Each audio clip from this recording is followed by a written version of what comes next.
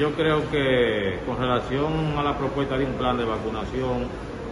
he planteado que el gobierno tiene esa información interna, esa información la ha dado a conocer públicamente, porque hubiese sido importante que se hubiese producido un proceso de intercambio de opinión con relación de algunos sectores para buscar un consenso y los mecanismos más adecuados, más viables para, implementar este proceso de vacunación, toda vez que las vacunas tienen diferentes métodos de elaboración y de conservación que hubiese sido posible. Como eso no fue posible y solo se discutió en lo que fue el mecanismo que está responsable del manejo de la pandemia, es una decisión del gobierno y entonces es interesante que ya el gobierno haya dicho públicamente que el lunes va a dar a conocer lo que ellos entienden es el mecanismo de vacunación. Yo creo que el proceso de vacunación en la República Dominicana debe depender de dos formas, de dos mecanismos. Número uno, la que están vinculados a la vacuna Pfizer y a la vacuna Moderna, porque la vacuna Pfizer y Moderna tienen un mecanismo de elaboración, en el caso de la Pfizer, que necesita un proceso de conservación de menos 70 y menos 80 grados Celsius, lo que significa que su logística para conservarla y para distribuirla que no lesione y no se viole el mecanismo de la cadena de frío, tiene una estrategia de elaboración y una estrategia de aplicación totalmente diferente a las demás vacunas, lo que son la Sputnik, lo que son la AstraZeneca, lo que es la Sinovac, la Sinopharm y las otras vacunas. Entonces, eso es importante. ¿Dónde deben vacunarse la población de la República Dominicana? En primer lugar, aquí hay que vacunar a todo el mundo, a todo el que está en el territorio de la República Dominicana, que deben ser alrededor de unos 13 millones de personas en la República Dominicana.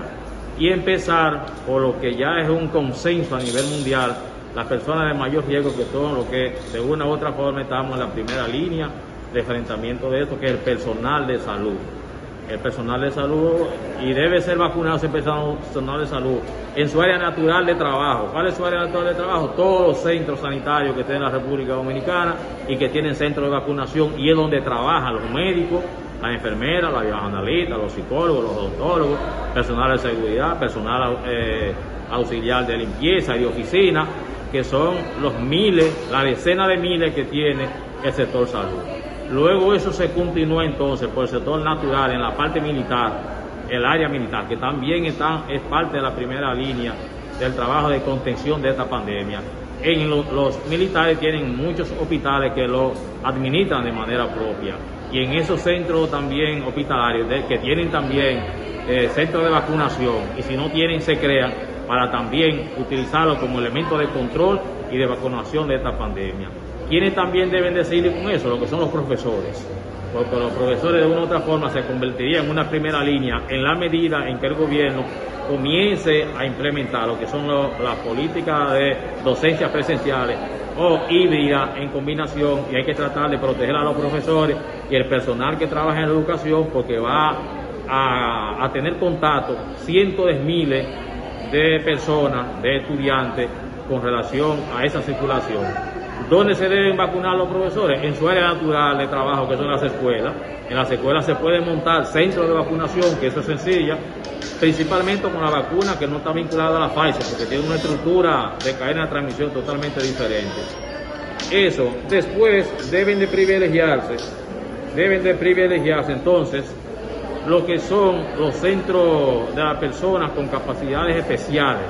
como son nuestros viejitos, nuestros envejecientes que están en los diferentes centros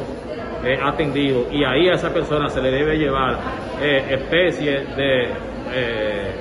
vacuna ambulatoria como una forma de vacunarlos a todos. Entonces se pasaría luego a lo que es la población en sentido general, que no tienen condiciones especiales. Por ejemplo, esos pacientes que tienen problemas pulmonares, problemas respiratorios, que tienen cáncer, que tienen diabetes, que tienen problemas de presión, esos son parte del esquema y la visión general de vacunación que debe abordarse para poder cumplir lo que es el esquema de vacunación general. Obviamente, eso tiene que depender con la capacidad que tenga el gobierno de comprar las vacunas, porque ahora con la vacuna hay un problema. Los diferentes países que tienen disponible vacunas, como es Pfizer en Estados Unidos, Ya en el día de ayer, los Estados Unidos autorizaron a Pfizer que le venda dos y a AstraZeneca 200 millones de dosis de vacunas más. Eso significa que Estados Unidos aún sigue acaparando la mayoría de cantidad de vacunas que se producen en términos que se producen en términos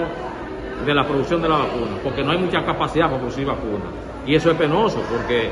ya Estados Unidos tiene acumulado más vacunas que la que necesita, mientras los otros países no tienen vacunas suficientes. Entonces, con relación a qué vacuna debe priorizarse o no, lamentablemente nosotros no estamos en condición de priorizar vacunas en la República Dominicana, porque la República Dominicana no produce vacunas. Quien produce vacunas son los países con otras características desarrollados en la parte de Europa, Estados Unidos, y nosotros que debemos garantizar es que las vacunas que lleguen a República Dominicana, y lo he dicho, son las vacunas que reúnan las condiciones técnicas de eficacia y seguridad y que esté toda por encima de un 50% que lo